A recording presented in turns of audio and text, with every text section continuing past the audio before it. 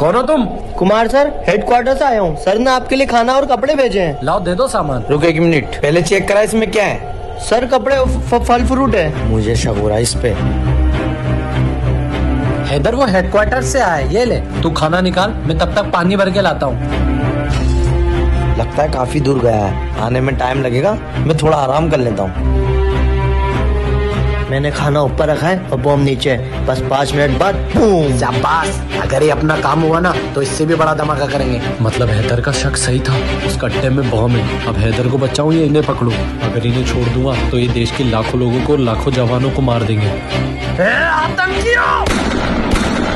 अब कोशिश करता हूँ कि हैदर भी बच जाए।